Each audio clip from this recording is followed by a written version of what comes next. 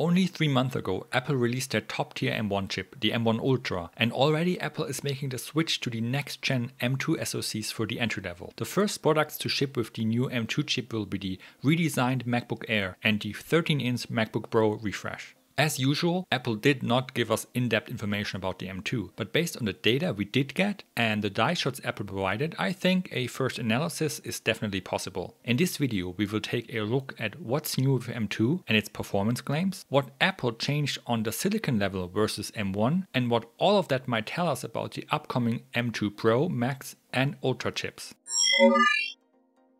Let's start by taking a look at the data Apple showed us. The M2 is built on over 20 billion transistors, which is a pretty hefty 25% increase over the 16 billion transistors in M1. And when we take a look at the die size comparison, it's pretty obvious this M2 is also quite a bit larger. Since both chips are based on TSMC's 5nm process, more on that later, I estimate that the 25% increase in transistor count also results in a about 25% larger die size, give or take. So based off the 119mm squared die of the M1, the M2 die size should be somewhere around 145mm squared. This is a very rough estimate, but should come pretty close. If you believe the marketing slides, Apple put the extra transistors to good use. Apple claims a 18% faster CPU performance over M1, still using the same 8-core CPU setup. 4 cores for performance and 4 for efficiency. The GPU is getting 2 new additional cores, from 8 in the M1 to now 10 in the M2, and the result is a 35% performance uplift. Apple also claims a 100 GB per second memory bandwidth, that's 50% more than M1 had available. And last but not least, the redesigned neural engine is supposed to deliver 40% more performance with up to 15.8 trillion operations per second while still being a 16 core design. So let's put Apple's claim to the test and have a more in depth look at the actual chip. The M1 GPU with its 8 cores is pretty easy to spot on the M1 die shot and it looks like Apple really just added 2 more cores to the M2 GPU. Going from 8 to 10 cores is a 25% increase and that's also exactly the performance number Apple provides when both chips are running at the same power, while the 35% performance uplift was achieved at a higher power draw.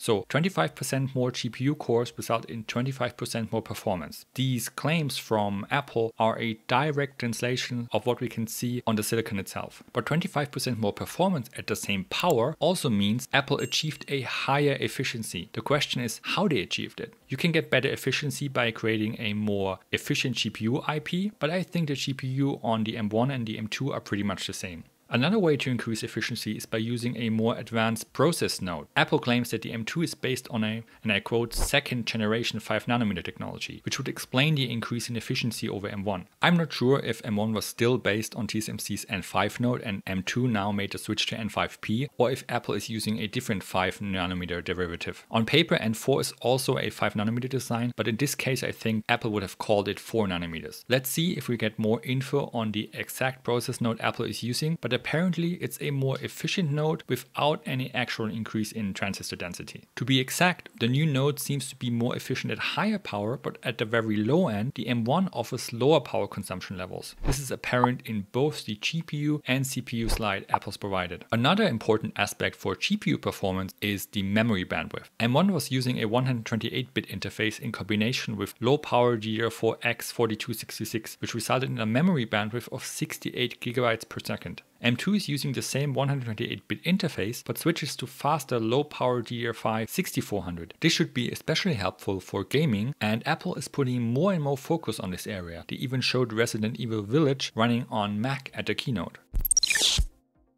Next are the performance cores of the CPU. If you compare the P cores on the M1 die, we can clearly see the four individual CPU cores and the shared L2 cache in between. On the M2, not a lot has changed here, but the larger L2 cache is clearly visible. With M2, Apple increased the L2 cache size to 16 megabytes from 12 in the M1. Apple also claims an 18% performance uplift in multi-threaded CPU workloads, but this number also includes the E cores, which we will talk about in a bit. Aside from the larger L2 cache, the P cores look very similar to the cores on the M1. I expect Apple is using the Avalanche cores they introduced with the A15 design last year. We should see a slight IPC uplift and maybe some higher clock speeds due to the improved process node, but nothing groundbreaking like a new ARM v9 design. On the note of groundbreaking, let's take a look at the neural engine. Apple is talking about a complete redesign with a 40% performance uplift while still using a 16 core network. On the M1, the neural engine sits right next to the performance CPU, with all 16 neural cores clearly visible. When we compared it to the M2, we can see a pretty substantial change in the design and layout of the neural engine. The M2 die shows two tightly packed clusters with 8 cores each, and the cores themselves also look a lot different to the old neural engine on the M1. So Apple's claim of redesign is very apparent on the chip itself. It's obvious a lot of work went into this new neural engine, and it looks more tightly packed too. I'm curious to see how Apple approached their redesign and if we will see a similar focus on the neural engine in the upcoming A16 chip.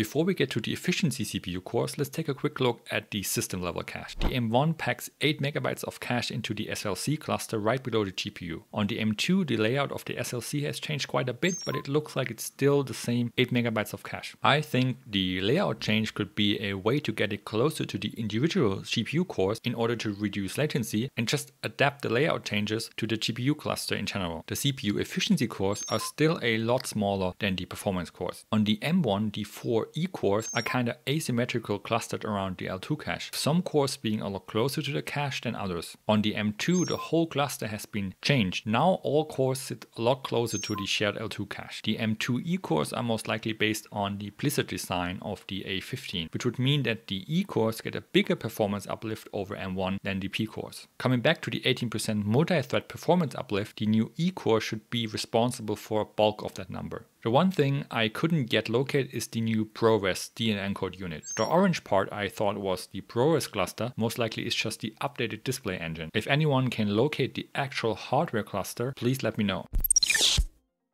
I always find it interesting to see how the marketing claims on the slides Apple is providing compare to the actual hard facts we can see on the silicon itself. M2 is clearly more an evolution instead of a revolution, but you shouldn't sell it short. Apple took the extra transistors they required to beef up the new M2 chip, and it's a step up over M2 in every way. The GPU gets two extra cores while hitting the same power consumption, not only resulting in more performance but also increasing efficiency. The CPU performance and efficiency cores are most likely based on the latest A15 design, which means we will see better performance and more efficiency, but nothing earth-shattering. The neural engine actually got a complete redesign, and Apple's impressive performance claims do seem to be founded in the actual silicon. I'm kinda disappointed that the system level cache seems to stay with the same 8 megabytes, but I'm sure Apple knows what they're doing. The only mysteries left now are where the new ProRes engine is hidden and what exact process node the M2 is manufactured on. Based off of the M2, the upcoming Pro, Max and Ultra SoCs are shaping up to be real big boys in terms of die size. The 20 to 25% increase in die size may not seem like much, but if this transfers over to the larger Pro and Max designs, it starts to add up, especially for a possible M2 Ultra, which doubles everything of the M2 Max again. I think Apple is going to raise prices throughout, just like we saw with the new MacBook Air. With the delay of TSMC's 3nm process, Apple has no other choice but to design larger chips, which in turn hurts yields and hikes production costs in an already overheated semiconductor market. I would like to read your own opinion on the M2. Do you think just spending more transistors to get better performance is the way to go, or should Apple focus more on architectural improvements like they did with the Neural Engine? And are you considering buying the new MacBook Air even with the price hikes? Leave a comment down below.